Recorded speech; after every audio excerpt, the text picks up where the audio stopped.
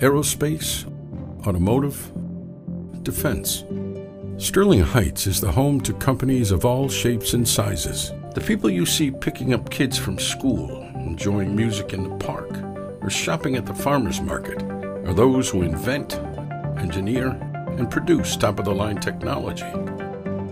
Technology that provides vehicles for families vehicles that protect our borders. So working at General Dynamics Land Systems, what are we doing? We're supporting the military. So all of our vehicles, they're for the military to bring those soldiers home safe. What I really like about the manufacturing aspect is knowing that all right, we need those individuals to build products for us. These different products are what, you know, bring home our soldiers. They're the things that we need to keep our society moving forward, and those are some of the things that are really important. It is an honor to have our manufacturing legacy and leadership intertwine with our vision of the city.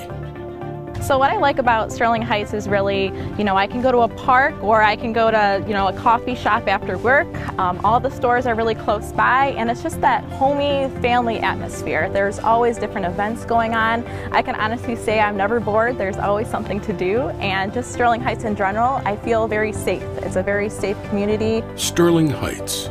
We know where we've been, who we are, and we look forward to building our future, innovating business.